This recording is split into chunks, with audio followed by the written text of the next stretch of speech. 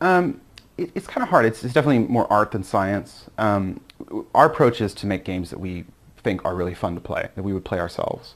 And, uh, and what makes it fun?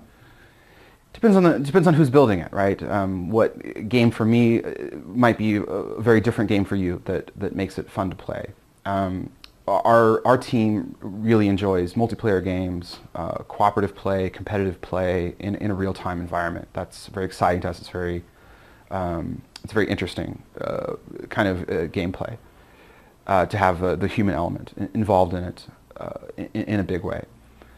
So we just all game design is is really is copying and borrowing from existing games. Um, there isn't uh, you know any popular game that's out there. Even World of Warcraft is was a copy of a copy of, of other games before it. Um, and there's you know well documented histories of, of every game you can you can see where it, it, it borrows from.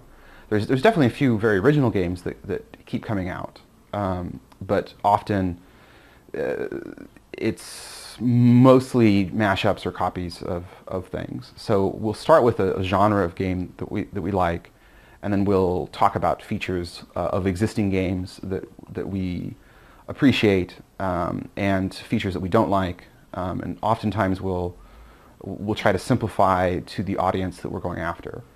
Uh, so the Facebook game that we're building right now, the social game that we're building right now, um, is going to have a, a mixture of, of, hardcore gaming elements with a social gaming element. It's going to feel very different than Farmville. It's going to feel more like a, a PC game or a console game.